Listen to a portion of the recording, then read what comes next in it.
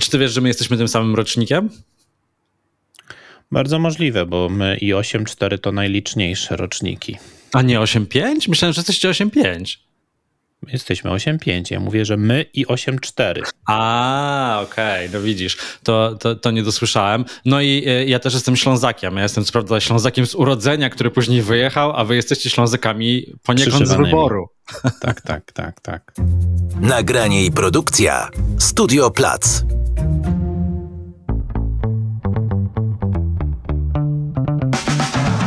Cześć, tu Krzysiek Grzyman. Słuchasz Zielonego Podcastu, czyli rozmów o przyszłości i klimacie. Gościem Zielonego Podcastu jest Marcin Nowak, czyli połowa duetu Wędrowne Motyle, e, duetu, w którym razem z żoną Anną pokazujecie i na Instagramie, i na YouTubie, i na blogu, i w książkach wasze podróże, no i świadome podróżowanie. Witaj. Kłaniam się, cześć. E, podpis u Was na Instagramie brzmi Podróże Polska, Włochy, Świat. Bardzo mi się podoba e, ta kolejność. No macie też dom we Włoszech, może gdzieś tam jeszcze o tym wspomnimy w trakcie rozmowy, ale dużo o siebie mówicie o e, świadomych podróżach. Mnie z kolei interesują zrównoważone podróże. To się chyba łączy, prawda? Łączy się jeszcze adwocem do tych esiek, bym dodał Śląsk, bo chyba chciałeś nawet powiedzieć.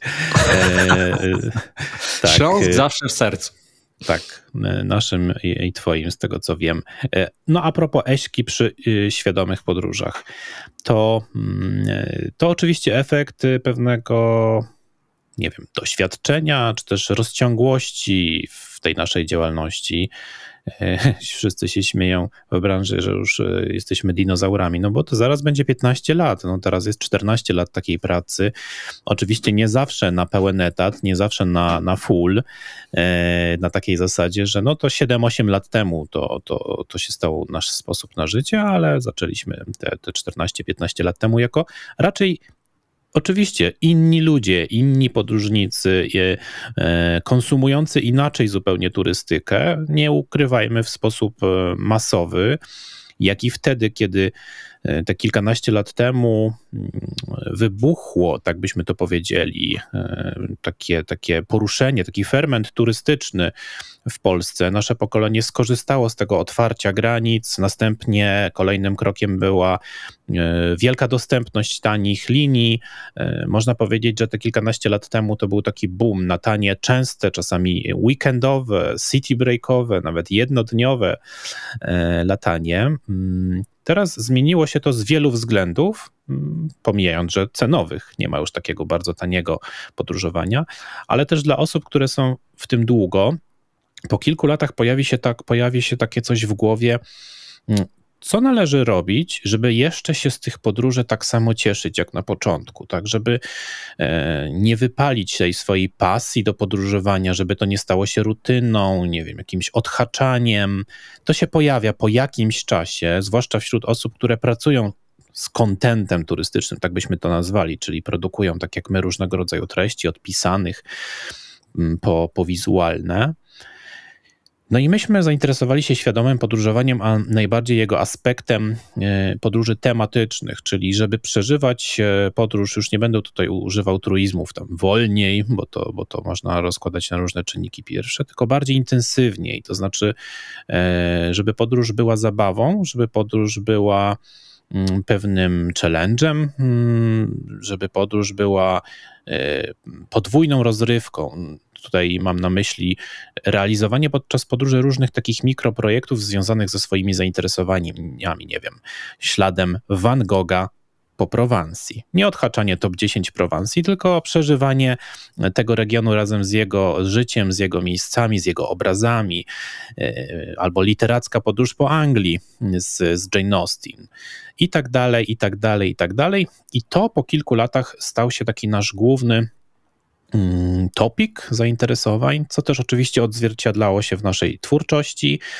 Okazało się, że naszej, e, naszej społeczności bardzo się to spodobało. Wykształciliśmy sobie taką pewną grupę, która jest z nami do dzisiaj, e, która właśnie chce troszeczkę inaczej podróżować niż, niż wszyscy. Niż wszyscy.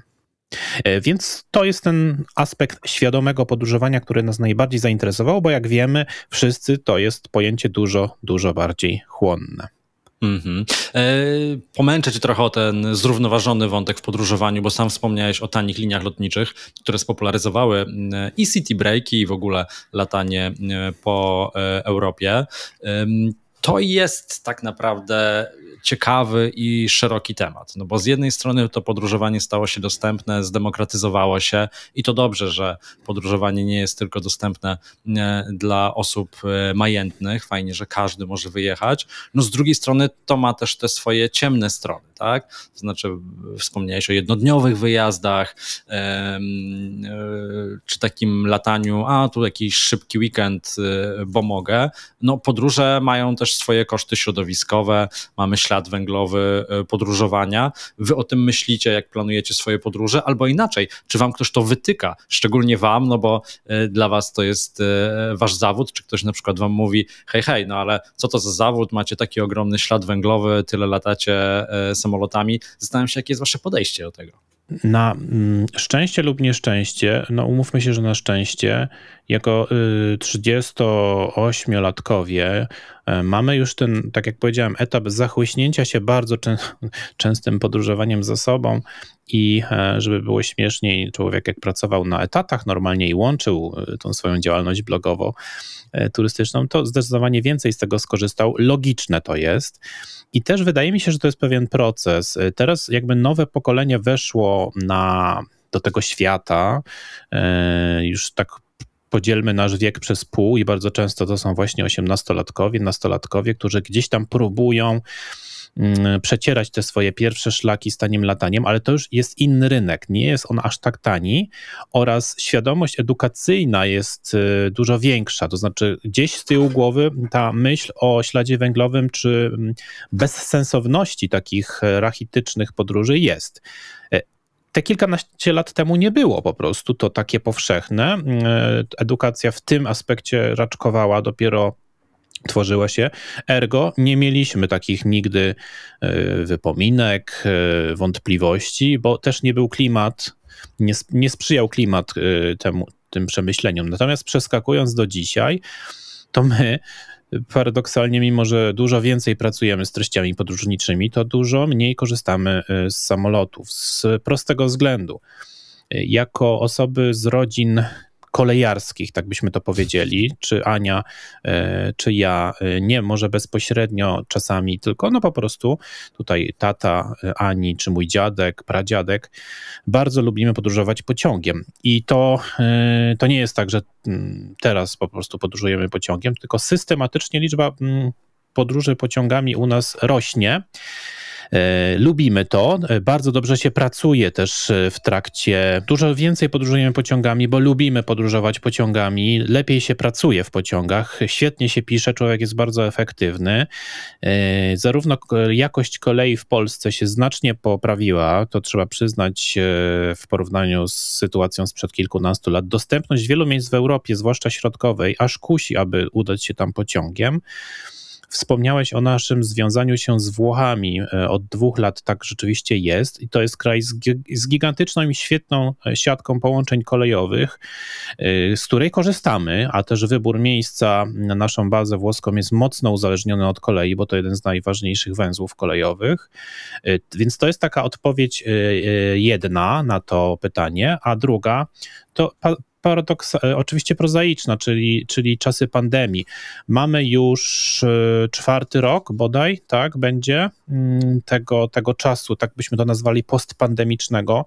Co prawda wszystkie liczby wskazują na to, że ten rok będzie rokiem przełomowym, to znaczy wiele statystyk tak zwanych przyjazdówek turystycznych w krajach przebije e, lata przedpandemiczne, bo poprzedni rok taki też już był, ale nie wszędzie, więc jakby w całościowo nie można powiedzieć, że się odbił rynek turystyczny, ale w tym roku wszystko wskazuje na to, że tak będzie.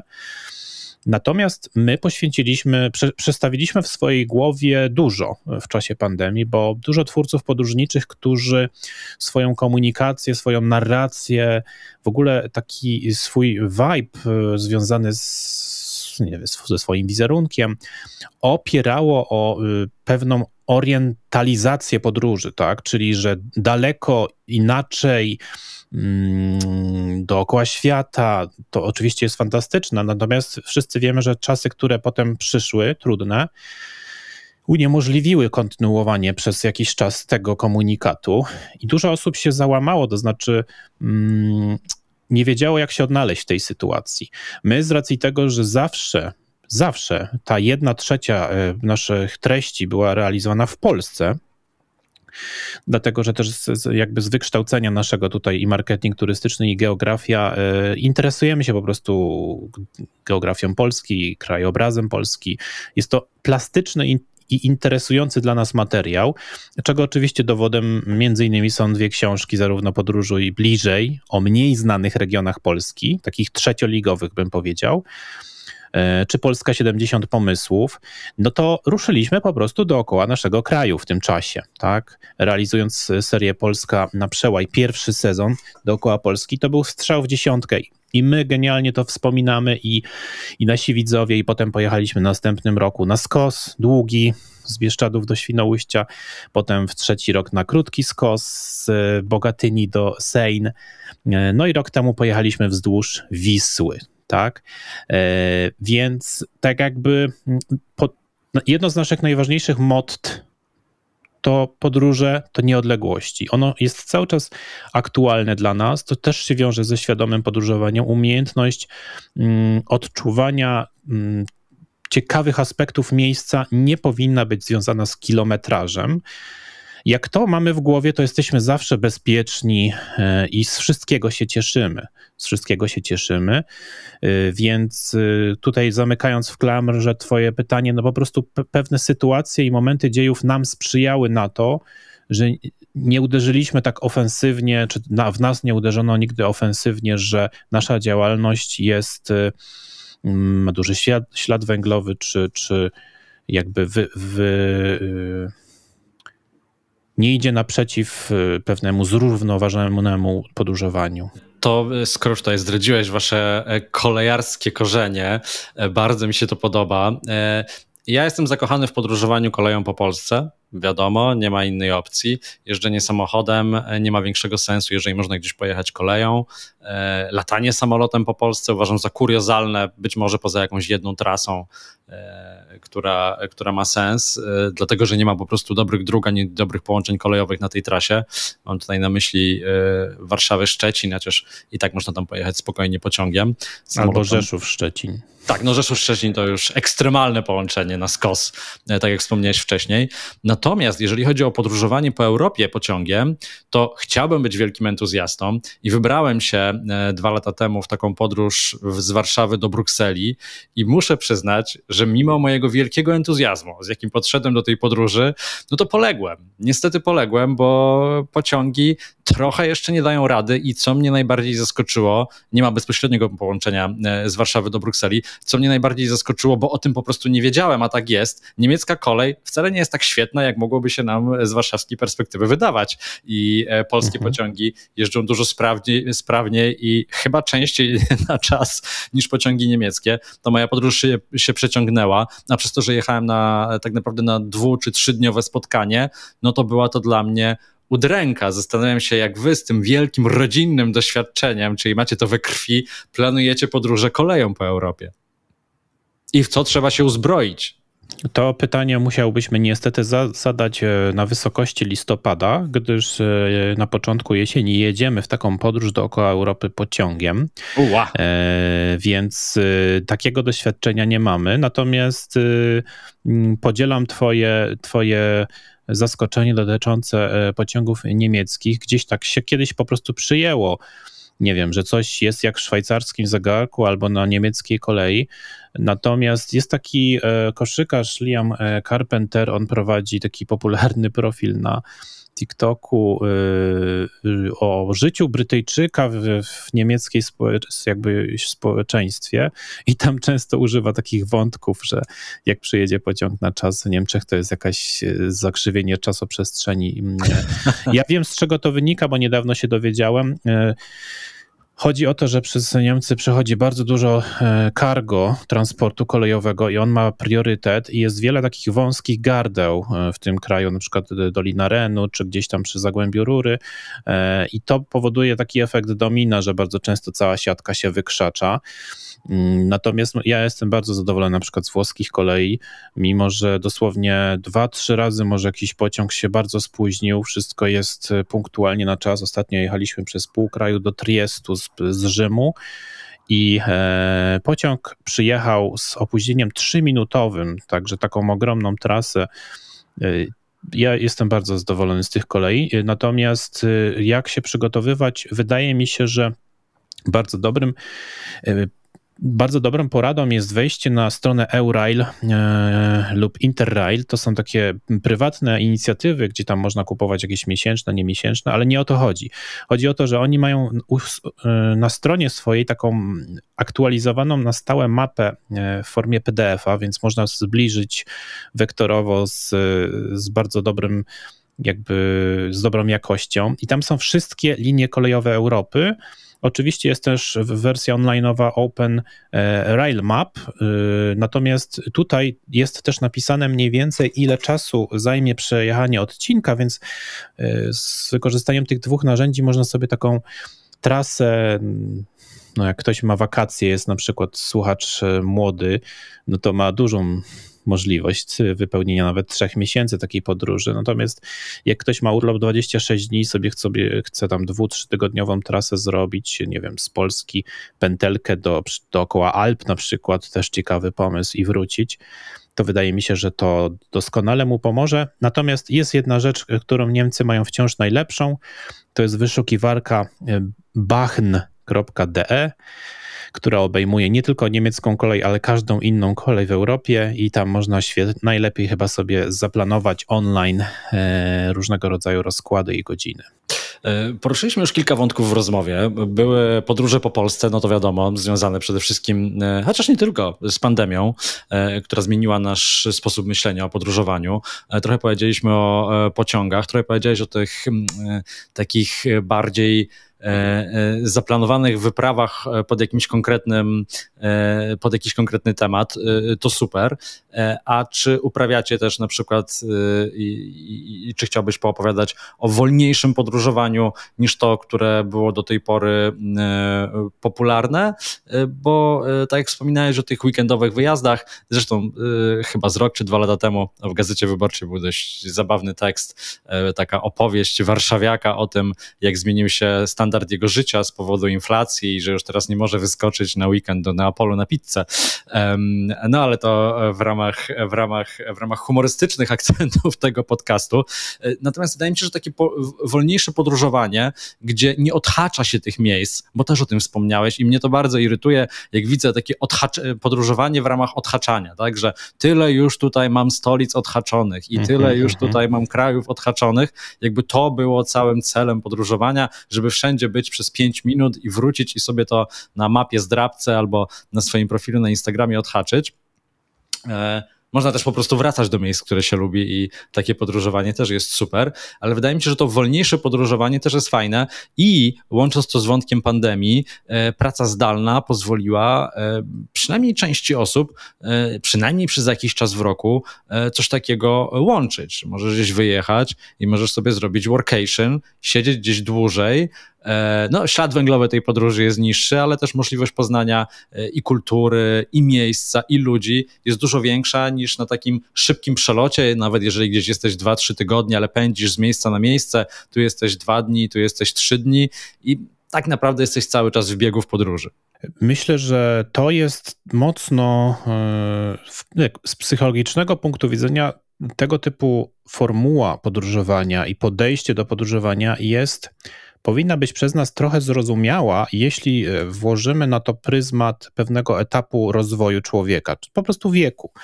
Wydaje mi się, że w pewnym wieku e, powab tego typu podróżowania jest większy niż, no nie wiem, nie będziemy boomersami tutaj, ale niż w naszym wieku. E, więc jakby trochę próbuję rozumieć tych, którzy teraz wchodzą. Ten świat jest taki troszkę inny, bo te materiały, które konsumujemy turystyczne są szybkie, krótkie, intensywne. Mówię o wertykalizacji e, odbioru treści, e, zwłaszcza na telefonach. Więc to młode pokolenie, które wchodzi, też chce jak najwięcej zobaczyć. E, zderza się trochę już z inną rzeczywistością, bo faktycznie nie jest tak prosto polecieć sobie na pizzę do Neapolu, ale myślę, że po czasie to, to odchodzi. To odhaczanie miejsc, liczenie, e, zaliczanie zmienia się właśnie na mm, jak poszukiwanie jakiejś innej formuły e, odczuwania tego czy wolniejszego podróżowania, które faktycznie w, w pracy zdalnej obecnie bardzo jest y, mm, na rękę wielu osobom. No, my, łącząc się z Włochami, podjęliśmy też pewną życiową decyzję, że, że no, kochamy ten kraj, lubimy. Oczywiście to mówię o wymieszkaniu e, pół na pół, ponieważ nie wyprowadziliśmy się z kraju, ale pracujemy zdalnie i na miejscu tam. I e, wiemy, że chcemy więcej tworzyć treści z Włoch. To nam pozwoli yy, absolutnie maksymalnie podróżować slow, ponieważ yy, no jesteśmy, nic nas nie goni, wyjeżdżamy sobie gdzieś y, pociągiem do Umbrii, potem do Markę, potem kończymy teraz książkę o Rzymie, potem zrobimy materiał o Toskanii, ale takiej mniej znanej, południowej Maremmie, która jeszcze jakby y, nie wpadła w, w sidła mm, tych road tripów, które obecnie są przekleństwem y, Toskanii i czasami na jednym punkcie widokowym podjeżdża dwadzieścia kilka samochodów, y, dziesięć wesp i, i, i, kilka, nie wiem, hulajnóg. Tutaj przesadzam. Więc y, te, te city breaki nie stały się przede wszystkim już takie proste i tanie, natomiast to, przy, to przychodzi z wiekiem, tak to e, dziadersko zabrzmi, ale no trochę jest w tym prawdy, trochę jest w tym prawdy. Ja przecież też nie, nie będę kłamał, że, że te dwa, 15 lat temu, czy tam 12, nie byłem takim typem podróżnika. No byłem, byłem. Chciałem e, właśnie skoczyć sobie na weekend e, do Rzymu czy do Paryża. Mm, myślę, że też determinowało te, te 26 dni urlopu człowieka. To wszystko się jest w stanie zmienić, ale żeby nie było tak e, defetystycznie tutaj, żeby to nie zabrzmiało, jesteśmy w dużo lepszej rzeczywistości. Więcej osób ma świadomość tego, jak o tym mówić, jak próbować e, podsuwać inne alternatywy e, młodym ludziom, między innymi właśnie podróżowanie bliskie, gdzieś pociągiem do Czech, Saksonia, Słowacja, Austria, że jest dużo możliwości innych niż e, właśnie e, ofensywne, bardzo intensywne e, city breaki. Martin, muszę cię o to zapytać, bo ja sam też kocham Włochy. Dlaczego wybraliście Włochy? Myślę, że są dwa, dwie grupy ludzi. Ci, którzy kochają Hiszpanię i ci, którzy kochają Włochy w Europie. I dlaczego Do... jesteście team, team Italia? Dokładnie tak jest. Ja bym jeszcze do tej Hiszpanii dodał Portugalię i to jest taka Oczywiście. wspólna grupa, taka hmm. iberyjska, byśmy tak powiedzieli. Natomiast y, hmm, to był trochę przypadek, bo, bo, bo hmm, kilka lat temu podjęliśmy decyzję, że, że będziemy chcieli sobie ulokować oszczędności w polskich górach w postaci jakiegoś domku, może małego, drewnianego albo do remontu. To, to, no to też zabrzmi dziwnie, ale to w, w, przychodzi taki czas, kiedy człowiek myśli o takim tak, miejscu poza miastem. Logiczne. Ale no i tak trzy lata szukaliśmy działek. My jesteśmy związani z Małopolską e, korzeniami, chociaż jesteśmy powiedzmy takimi przyszywanymi Ślązakami, ale zaakceptowanymi. No i nie udało się. Mówiąc oględnie, e, nie będę tu się wdawał w szczegóły, nie udało się, ciągle coś wyskakiwało. Tutaj problem z gazem, tutaj z wodą. Już prawie jedna działka była kupiona, okazało się, że woda jest zanieczyszczona. I tak trzy lata minęły i przyszła bańka e, na rynku nieruchomości. Do dzisiaj, do dzisiaj sam nie do końca rozumiem, dlaczego akurat w Polskę ona, ona tak mocno mm, uderzyła. No ale no stało się. Jesteśmy tym krajem, który najbardziej e, ucierpiał na tym wywindowaniu cen, czasami w horrendalnych kierunkach, 200%, na przykład, nie wiem, na zbrojeniu, e, czy tam betony, styropiany. Marcin, tu tylko wejdę w słowo. Być może tak Przerwaliśmy tak naprawdę, poszukiwania. Być może tak naprawdę jesteśmy zamożniejszym krajem, niż nam się wydaje i niż pokazują to statystyki. E, może, może to jakby też e, tutaj nie, nie przekreślam tego naszego gigantycznego rozwoju przez te ostatnie kilka, kilkanaście lat. Niemniej e, z jakiegoś powodu, mimo że byliśmy na to przygotowani, nie mogliśmy jednak podjąć tego marzenia. Więc to jest jakby odpowiedź na to, czy jesteśmy, czy nie. I dużo osób, naszych rówieśników również wtedy się z tym zderzyło. Ja bardzo też współczuję e, temu e, pokoleniu, o którym przed chwileczką mówiliśmy, że wchodzi na, na rynek turystyczny, bo ono też dużo trudniej moim zdaniem zderzy się z tym światem, ale to jest temat na inną rozmowę. Więc podjęliśmy decyzję, że rezygnujemy z tego. I potem pojechaliśmy do Włoch, żeby sobie po pandemii odbić naszą nie, nieobecność przez dwa lata realizowaliśmy taki materiał o Umbrii, bardzo przyjemny, spokojny, e, wędrowny, jak nazwa wskazuje, z szlakiem świętego Franciszka. E, wcześniej e, Sycylia i tam w Umbrii spotkaliśmy się z Bartkiem Kierzunem, to jest pisarz, który pisze książki kulinarne, fantastyczny gość. Zakolegowaliśmy się, zrobiliśmy z nim wywiad, bo on związał się z Umbrią właśnie. No i poza kamerą Bartek nam poopowiedział trochę o tej rzeczywistości, nieruchomości we Włoszech i otworzył nam oczy. E, niesamowite to było, jak e, dużo jest atrakcyjnych cenowo nieruchomości we Włoszech. Myśmy to poznali i, w, i przez trzy lata nie udało się w Polsce e, spełnić marzenia o domku i ziemi, a przez trzy miesiące udało się we Włoszech spełnić drugie marzenie. Okazało się, bo to nie było priorytetowe marzenie, ale gdzieś tam zawołało w tle: Słuchaj, teraz moja kolej, realizuj mnie. I, e, no i w małym miasteczku niedaleko Rzymu, ale bardzo dobrze skomunikowanym i, i będącym taką logistyczną dla nas e, taktyczną bramą do Umbrii, Toskanii i Lacją, udało się w atrakcyjnej kwocie zakupić, zakupić nieruchomość i jeszcze nawet zostało trochę, mówię w kontekście tego, na co byliśmy przygotowani w Polsce.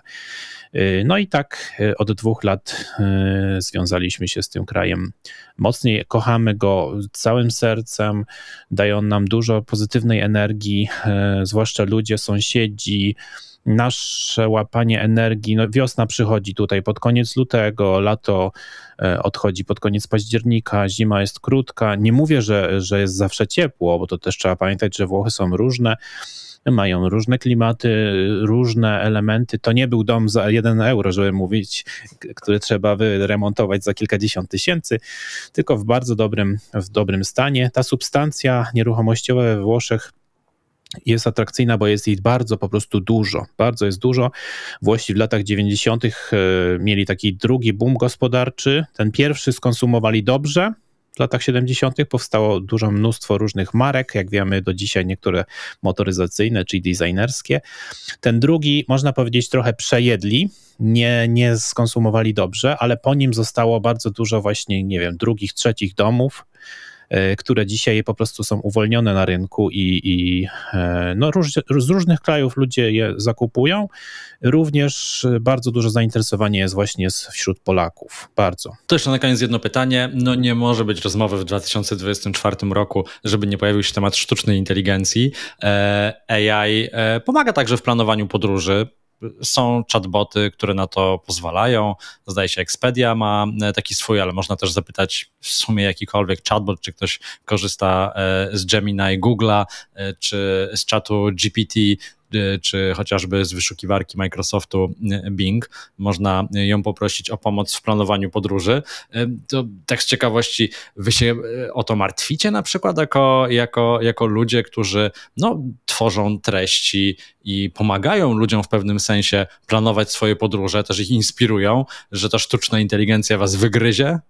Na pozór tak, powinno tak być, natomiast sami korzystamy ze sztucznej inteligencji w wielu aspektach chociażby właśnie e, optymalizowania pewnych szlaków komunikacyjnych. Ona jeszcze mm, tutaj e, nie, nie dowodzi, nie dowodzi tego tak jak trzeba, bo faktycznie najlepsze narzędzia mm, związane z turystyką są zawsze oparte o jakąś konkretną markę, więc one wtedy są trochę zaburzone tym, że pod tą markę, mm, e, z tego co ja obserwuję na razie, pracują. Natomiast no na przykład Dużo pracowałem ze sztuczną inteligencją, żeby modele klimatyczne dla, dla pewnych elementów Włoch sobie wyznaczyć na podstawie wielu różnych źródeł, również na przykład ze Scholara, czyli tam akademickich. E, no i po prostu skróciło to opracowanie pewnych wykresów, które, które potrzebowałem e, więc bardziej pracujemy analitycznie i naukowo z tym. E, nie do końca uważam, że w przygotowaniu planów podróży wygryzie blogerów. Dlaczego? Dlatego, że też siła blogów trochę straciła na rażeniu. Ludzie i tak konsumują inaczej treści TikTokowo a e, ci mądrzejsi, czy bardziej jakby rozbudowani twórcy internetowi, turystyczni, czy też podróżniczy, e, bardziej oparli swoją twórczość o pewien storytelling, którego na razie jeszcze długo sztuczna inteligencja mm, e, zastąpić nie będzie w stanie. Natomiast ja jestem wielkim zwolennikiem sztucznej inteligencji w zakresie analityki, trochę mniej w zakresie tworzenia materiałów graficznych, no bo to jest oba, obarczone i obostrzone na razie wielkimi kontrowersjami e, prawnymi. Natomiast w kwestii analitycznej, e, matematycznej, statystycznej bardzo mi się to podoba i często korzystam. Marcin Nowak, czyli połowa duetu Wędrowne Motyle. E, Instagram, YouTube, blog. E, a o czym najnowsza książka? E, o mieście, do którego prowadzą wszystkie drogi, również kolejowe. no to zgaduję, że to, że to miasto we Włoszech. To jest miasto, które zawiera się też w Twoim nazwisku. Pięknie. Słuchaj, bardzo Ci dziękuję za rozmowę. Odsyłam. A, a jeszcze powiedz, kiedy premiera? E, niestety nie jestem w stanie jakby podać premiery, ponieważ ten proces jest trochę skomplikowany i pewne technikalia nam tej daty nie pozwalają wytyczyć, ale e, ufam, że wiosna, jestem przekonany, że chodzi o tegoroczną wiosnę. Super. Marcin Nowak, bardzo Ci dziękuję za rozmowę. Krzysiek Rzym-An, e, do usłyszenia i do zobaczenia. Dzięki. Dzięki, że słuchasz Zielonego Podcastu. Aby nie przegapić kolejnego odcinka, kliknij subskrybuj. A jeśli podcast Ci się podoba, możesz go ocenić i polecić znajomym. Znajdziesz mnie także na Instagramie, LinkedInie i na Facebooku. Krzysiek Grzyman, do usłyszenia.